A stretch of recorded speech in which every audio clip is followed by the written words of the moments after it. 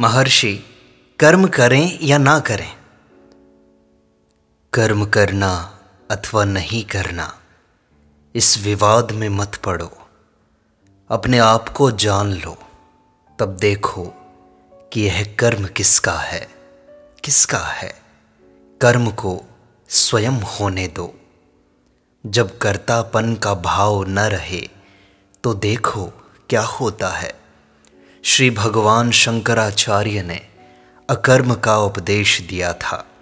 किंतु क्या उन्होंने स्वयं भाष्य नहीं लिखे अथवा शास्त्रार्थ नहीं किए? जब तक कर्तापन का भाव है, तब तक उसे अपने कर्मों के फल भोगने ही होंगे। यदि वह अपने को कर्ता नहीं मानता तो उसके लिए कोई कर्म नहीं रहता। जिसने सांसारिक जीवन का त्याग कर दिया, वही सन्यासी है। तो महर्षि, अहम भाव का उदय कैसे हुआ? यह जानना आवश्यक नहीं। वर्तमान को जानो। जब तुम इसे नहीं जानते तो अन्य काल की चिंता क्यों करते हो? जगत तुम में है, अथवा तुमसे बाहर। क्या वह तुमसे अलग है? क्या जगत तुमसे आकर कहता है कि मैं हूँ। तो महर्षि, हम किस प्रकार जानें कि वह कर्म हमारा है अथवा नहीं? यदि कर्म का फल व्यक्ति को प्रभावित नहीं करता तो वह कर्म से मुक्त है। तो इसके लिए क्या बौद्धिक ज्ञान ही पर्याप्त है? बुद्धि से जाने बिना उसका अभ्यास कैसे होगा? अतः पहले बुद्धि से जानो, फिर वहीं रुको नहीं, उसका अभ्यास करो। सब लोगों से एक ही प्रकार के कार्य करने की आशा नहीं की जा सकती। प्रत्येक व्यक्ति अपने स्वभाव तथा पूर्व जन्म के संस्कार के अनुसार ही कर्म करता है। ज्ञान, भक्ति तथा कर्म एक दूसरे से संबद्ध हैं। ध्यान करने के लिए आकार अपनी स्वयं की रुचि के अनुसार होता है। इसका उद्देश्य है अन्य आकारों से बचना तथा एक ही आकार में लगना। इससे लक्ष्य की प्राप्ति हो जाती है। प्रारंभ में मन को हृदय में एकाग्र करना असंभव है। इसी कारण इन साधनों की आवश्यकता है। कृष्ण का कथन है कि मेरे, तुम्हारे इत्यादि किसी के कोई जन्म नहीं हुए। और बाद में वे कहते हैं कि उन्होंने आदित्य से पहले जन्म लिया था। अर्जुन को इस कथन में शंका होती है। इससे यह निश्चय हुआ कि हर व्यक्ति अपने विकास के अनुरूप ही ईश्वर की धारणा बनाता है। तुम जागृत अवस्था में स्वयं को देह मानते हो, पर सुषुप्ति में ऐसा नहीं मानते। एक व्यक्ति के शरीर भी तो अनेक परतों में होते हैं। ईश्वर का अनंत सामर्थ्य क्यों न होगा?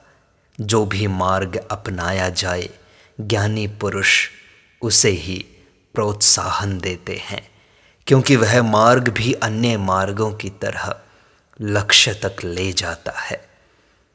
तो महर्षि, क्या कर्म के मार्ग में स्वर्ग तथा नरक नहीं है। वहाँ जाने के लिए कोई अवश्य होना चाहिए। वे सब स्वप्न की तरह हैं।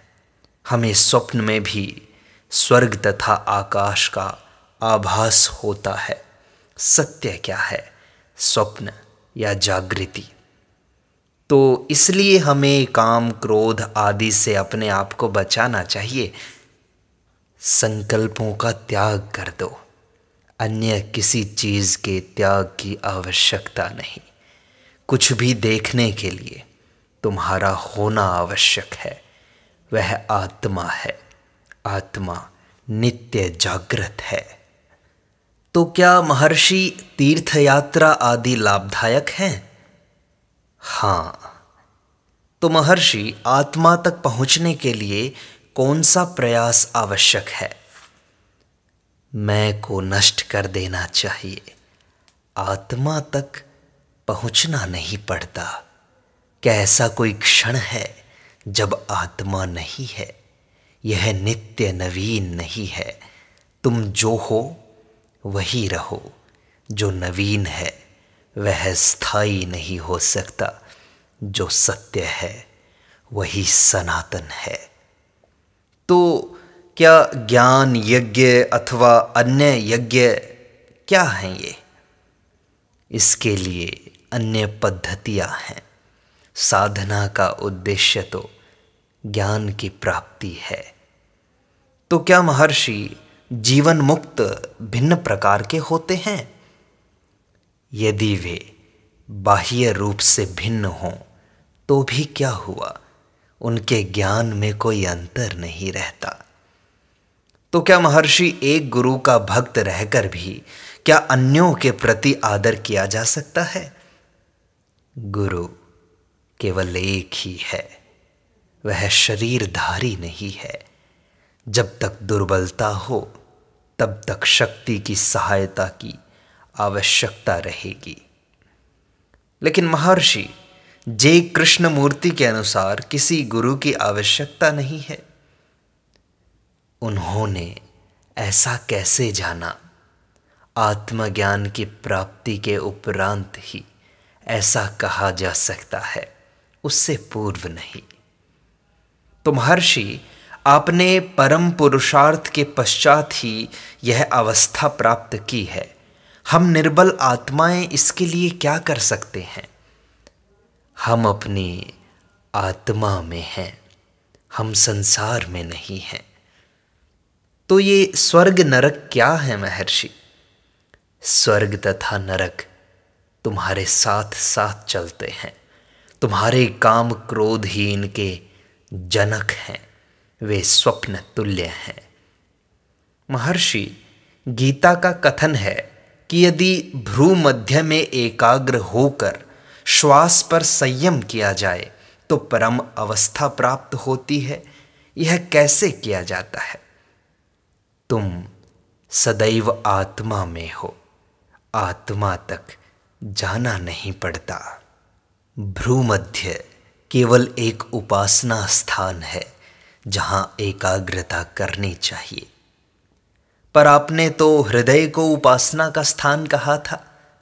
हाँ वह भी है। तो हृदय क्या है महर्षि? हृदय आत्मा का केंद्र है। आत्मा केंद्रों का केंद्र है। हृदय मानसिक केंद्र का प्रतीक है, शारीरिक केंद्र का नहीं। तो महर्षि, ज्ञान शब्द आत्मज्ञान का द्योतक है।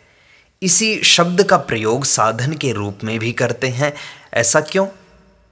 ज्ञान शब्द को साधन के लिए भी व्यवहार करते हैं, क्योंकि अंत में इसका परिणाम साक्षात्कार है। तो क्या एक व्यक्ति को चाहे उसका ज्ञान कितना ही अपूर्ण हो, उपदेश में प्रवृत्त होना चाहिए? यदि उसका प्रारब्ध उस प्रकार का हो, गीता के सप्तम अध्याय में अर्जुन प्रश्न करता है कि क्या कर्म साधन है? कृष्ण उत्तर देते हैं कि ऐसा ही है। यदि अकर्तापन के भाव से किया जाए तो कर्म साधन बन जाता है। ऐसा ही उन शास्त्र सम्मत कर्मों के बारे में जानो, जिन्होंने कर्म का निषेध किया है। उनके द्वारा उन्हीं कर्मों को निषिद्ध ठहराया गया है, जो कर्तापन के भाव से किए जाते हैं। कर्मों को त्यागो मत, तुम ऐसा कर भी नहीं सकते। कर्तापन के भाव को त्यागो, कर्म स्वतः ही होते रहेंगे, अथवा कर्म तुमसे छूट जाएँगे। यदि तुम्हारे प्रारब्ध में कर्म करना है तो वे तुमसे होंगे ही, तुम चाहो या ना चाहो। यदि तुम्हारे प्रारब्ध में कर्म नहीं है तो तुम कितने ही आग्रह से उनमें प्रवृत्त हो जाओ। वे होंगे ही नहीं।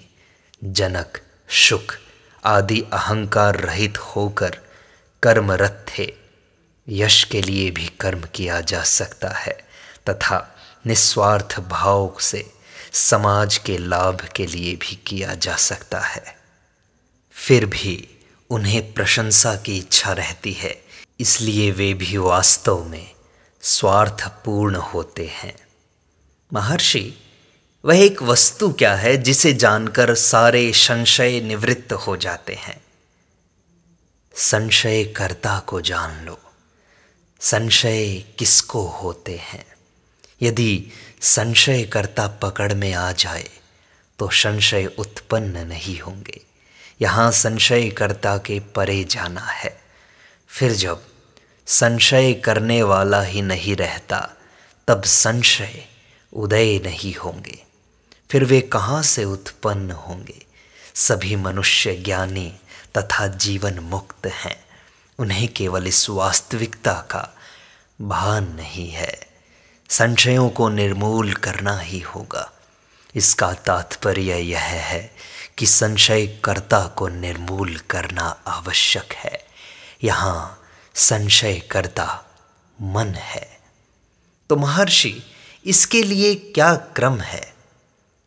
मैं कौन हूँ? इसकी खोज करो। तो क्या हम इसका जाप करें? तुम यह विचार क्यों करो कि मैं यह हूँ?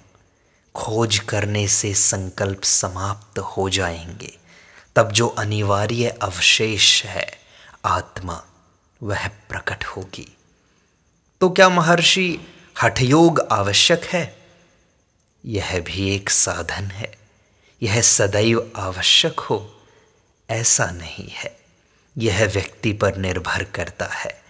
आत्मविचार प्राणायाम से ऊपर है। योग वाशिष्ठ में चूड़ाला शिखी ध्वज के अहंकार को मारने के लिए आत्मविचार का परामर्श देती है। प्राण अथवा बुद्धि दोनों को ही संयम में रखने से सत्य का साक्षात्कार हो सकता है। हठ योग प्राण का है, आत्मविचार बुद्धि का है। महर्षि, क्या ज्ञान प्राप्ति के बाद ज्ञानी का कोई व्यक्तित्व रहता है?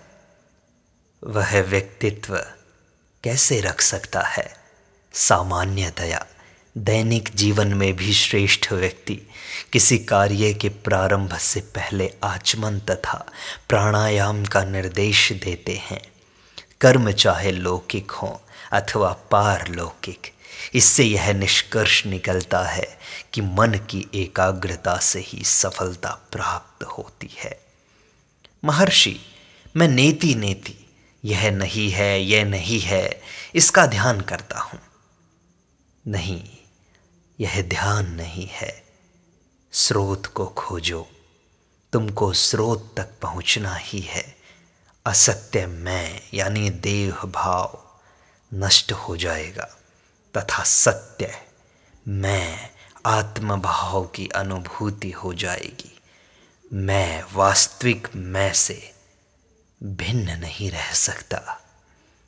इसलिए कर्मों को निष्काम होकर के करते रहो साधना को निष्काम भाव से करते रहो।